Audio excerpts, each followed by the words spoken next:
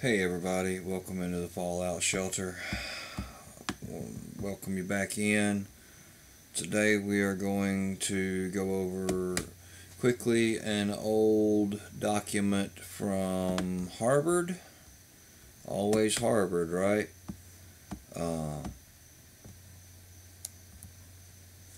this is a document I found. It's from the adsabs harvard.edu. It's an abstract or something. I think it just means it's a short. Have to find the whole thing uh, somewhere else maybe, but this is enough for right now. I'm sure a lot of people already know about this, so this is really for the the newbies, I guess, that are looking into this stuff. I'm one of them. I don't take anybody's word for anything. I go start looking up the information, and since I find it, I'm going to just put it out in a different manner. Uh, the title of this is Stratospheric Injection on Reflective aerosols, or particles by means of aviation fuel additives. Arthurs J. Gorman. Uh, I don't really know the affiliation thing. Publications American Geophysical Union. Fall Meeting 2007.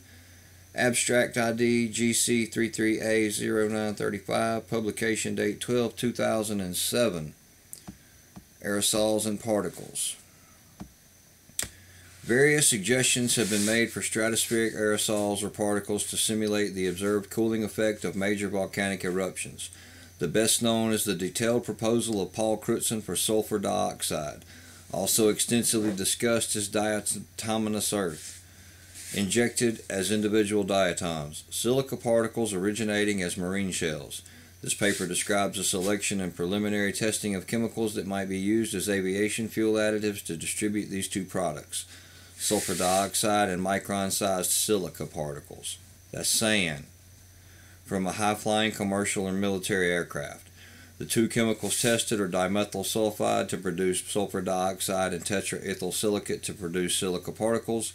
In a closed glass jar, both of these chemicals are indistinguishable from jet aviation fuel.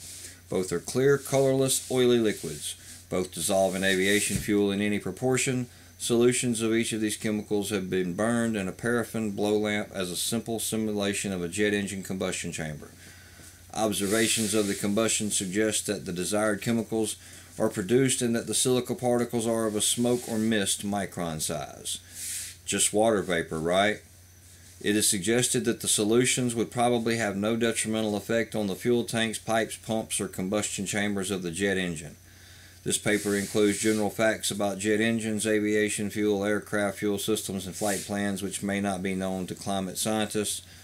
Also briefly considered are the health consequences of silica particles in the stratosphere. No tests have been done on a jet engine. Suggestions are made on that type of test that would need be needed by an organization having engine static test facilities. So, there you have it this was 2007. We're 12 years away from that. You can uh, you can imagine that uh, we've come quite a long way since then. If you don't believe it, look up. There's no telling what all's in there now.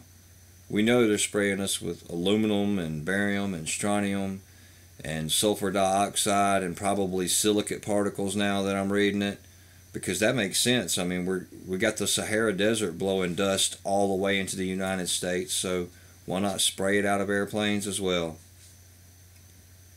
If you enjoy this type of information, uh, click the buttons, do the things, all that comes with it. Uh, I appreciate all of the people who are supporting this, and uh, I hope you enjoy this information, and I hope it's it's useful to you. Thank you, and God bless you, and have a wonderful day.